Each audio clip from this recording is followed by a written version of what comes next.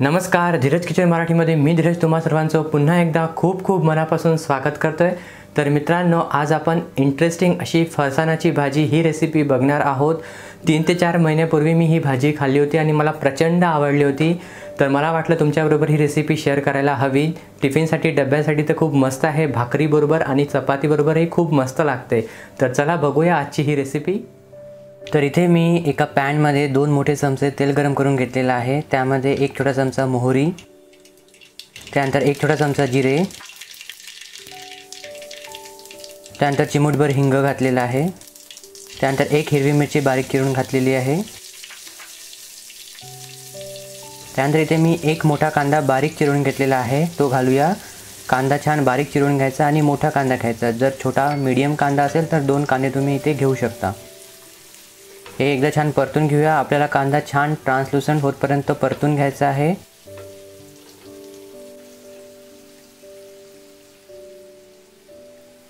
यामध्ये मी थोडासा कढीपत्ता घालतोय. ऑप्शनल आहे. नसल आवडत नाही घातला तरीही चालेल.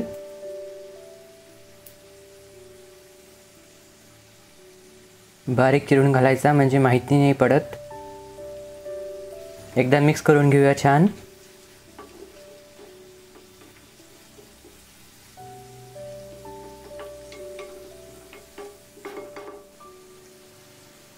आता यावर झाकण ठेवून आपण कांदा छान आठ ते दहा मिनटं शिजवून घेऊया मस्त.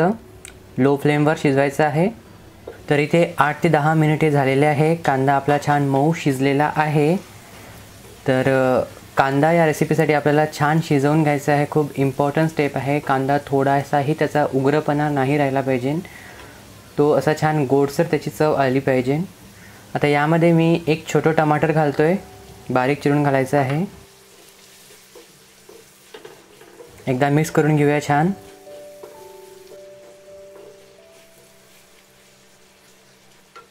गॅसचा फ्लेम मी लोच ठेवलेला आहे. आता यामध्ये आपण मीठ घालूया जेणेकरून आपलं टमाटर लवकर शिजेल. चवीनुसार मीठ घालायचं आहे.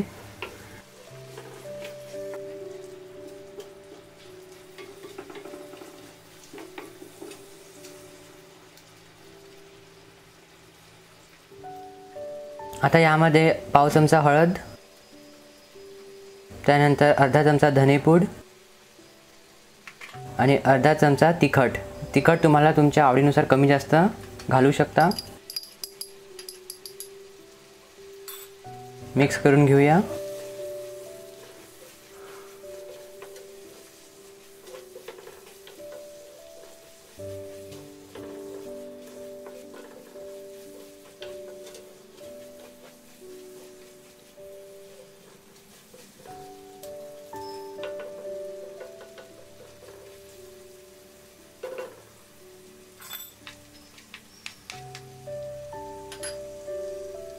तर यावर झाकण ठेवून मी पुन्हा हा मसाला पाच ते सहा मिनिटे शिजवून घेतो आहे तर इथे पाच ते सहा मिनिटे झालेले आहे. आपला मसाला कांदा टमाटर छान शिजला गेलेला आहे. छान क्रिस्टलाईन झालेला आहे कांदा. या स्टेजपर्यंत आपल्याला शिजवून घ्यायचा आहे. कमीत कमी या स्टेपला स्टार्टिंगपासून वीस ते पंचवीस मिनटं वेळ लागतो. त्यामुळे कांदा बरोबर छान शिजवून घ्यायचा.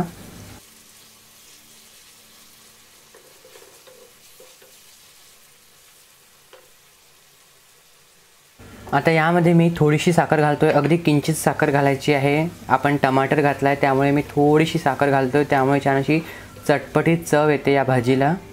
त्यानंतर इथे मी अर्धा कप फरसाण घेतलेला आहे. इथे मी तिखट फरसाण घेतलेलं आहे. तुम्ही कुठलंही फरसाण या रेसिपीमध्ये वापरू शकता. साधं फरसाण हे खूप अप्रतिम लागते या भाजीमध्ये या रेसिपीमध्ये. आणि पावसाळ्यामध्ये बऱ्याचदा जे फरसाण आहे ते नरम पडतं. त्यामुळे ते वापरण्यासाठी ही भाजी खूप उत्तम आहे. तर तुम्ही तेही फरसाण इथे घेऊ शकता. हे एकदा छान मिक्स करून घेऊया. फरसाण घातल्यावर आपल्याला फक्त एखादी मिनिट ही भाजी परतून घ्यायची आहे शिजवून घ्यायची आहे.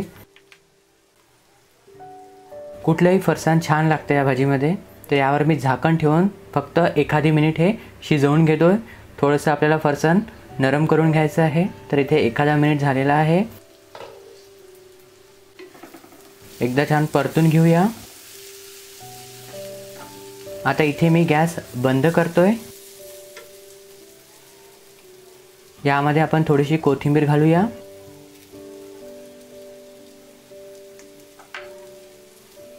आणि एकदा छान मिक्स करून घेऊया.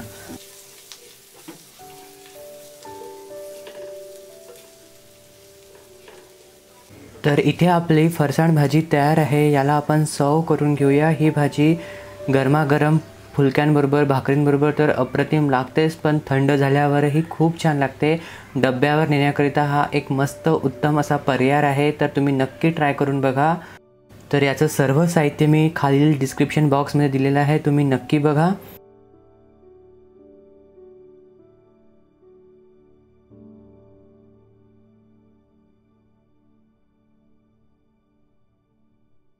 तर मित्रांनो जर तुम्हाला आजची रेसिपी हा व्हिडिओ आवडला असेल तर तुम्हाला नेहमीप्रमाणे लाईक करायचं आहे कमेंट करायचं आहे शेअर करायचं आहे.